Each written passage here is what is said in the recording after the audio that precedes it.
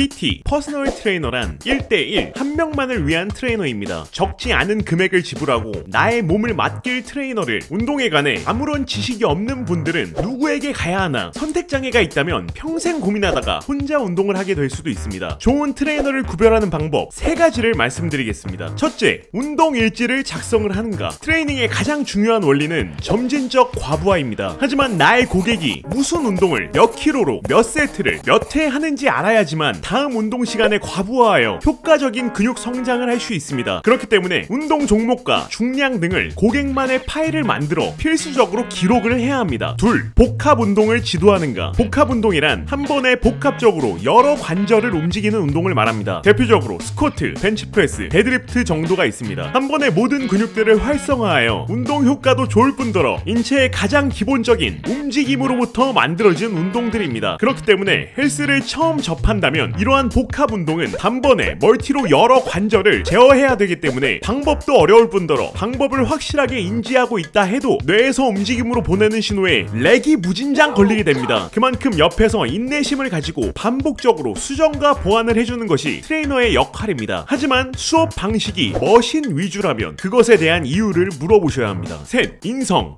자신을 존중해주는 트레이너를 만나야 합니다. 보통 PT를 고민하시는 분들은 더 멋지고 더 아름다워지기 위해서 하시는 분들도 많지만 너무 뚱뚱하거나 근육도 하나 없이 너무 왜소하거나 하시는 분들이 PT를 받습니다. 간혹 이런 사람들을 보고 운동은 하나도 안 하고 밤마다 술만 처먹고 부모님이 한심하다면 준 돈으로 레슨 받으러 온 것일 거라고 생각하는 트레이너들이 있습니다. 열심히 공부하느라 몸 관리에 소홀해져서 몸이 망가졌을 수도 있고 업무에 치여서 운동할 여유가 안 생겨서 그런 걸 수도 있고 있고 호르몬이 문제일 경우도 있고 사실 정말로 매일 술과 잠을 반복하며 비만이 된 사람도 있긴 있습니다. 하지만 그런 사람들조차 레슨비를 지불할 정도의 경제력이 돼서 자기 앞가림은 하시는 분들일 텐데 트레이너는 직업입니다. 운동할 시간을 만들어야만 하는 사람들이에요. 그런데 자기보다 뚱뚱하거나 왜소하다는 이유만으로 답답해하고 한심해하고 그런 트레이너는 아무리 훌륭한 이력이 있더라도 선택하시면 안 됩니다. 몸은 스스로 충분히 만들 수 있습니다. 시간이 오래 걸리 걸릴 뿐입니다. 그렇기 때문에 최대한 효율적으로 몸을 만들기 위한 방법을 얻어야 합니다. 평생 동안 PT 레슨을 받으실 것이 아니라면 그 방법을 배우셔야 합니다. 그렇기 때문에 내가 이 운동을 왜 하는지, 왜 이렇게 먹어야 하는지, 내가 이 동작이 왜 안 되는지 궁금한 것을 숨기지 말고 물어보세요. 방법을 배우셔야 합니다. 몸을 맡기지 마세요.